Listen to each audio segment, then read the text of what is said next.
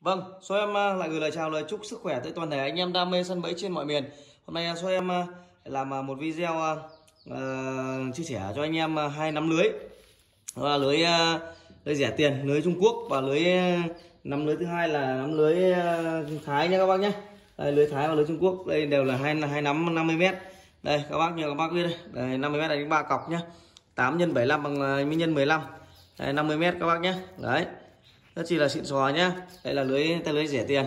Lưới thái các bác nhé à lưới lưới lưới trung quốc nhé đấy các bác à, nhìn kỹ và phân biệt kỹ nhé thì các bác có bảo là sao lưới đắt thế? Và lưới rẻ thế thì hôm nay em cũng à, phản hồi luôn cho các bác. Đây là lưới, lưới rẻ và đây là lưới đắt. Một nắm lưới đắt bảy năm mươi mét của nó đây. Nó to gấp gần 3 lần cái nắm lưới kia nhé các bác. Đấy gần 3 lần gấp gấp gần 3 lần nhé đây anh em cũng có thể chia sẻ luôn. Mỗi nắm lưới này đánh ba cọc nhá. Để các bác đây.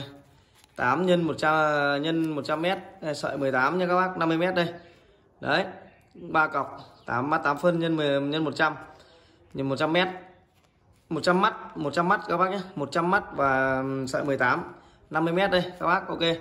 Nắm lưới đây cũng thế, đây là nắm lưới ờ, lấy đủ, lưới thái đủ đây các bác nhé. Đây, cũng ba cọc ba cọc các bác nhé, ba cọc 8 nhân 100 18 50 m đấy, để phản hồi cho các bác luôn là nhiều bác ờ, hỏi và so sánh. Thì đây, em cũng là ừ, làm video này để trả lời câu hỏi ờ, so sánh sự đắt rẻ của các bác đây. Hai là lưới nhìn màu khác nhau các bác nhé. Đấy còn bác nào thích rẻ thì các bác lấy lưới rẻ các bác nào thích lưới đắt thì các bác lấy lưới đắt. Không có gì lan tan cả tiền nào của đấy mà các bác. Đúng không ạ? Cảm ơn các bác đã xem video.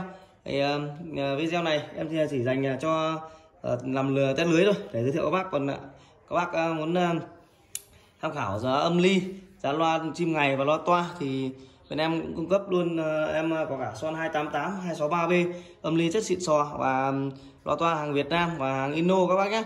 Đấy thì tiền nào của đấy các bác ạ. À, cái gì nó có cái giá của nó. Anh em đang xem video thì thấy hay like đăng ký kênh ủng hộ shop. Và anh em nào cần phụ kiện sân bẫy lưới loa bẫy chim thì hãy liên hệ bên shop ở hai đầu số kia. À, em sẽ để ở phía tiêu đề nhé.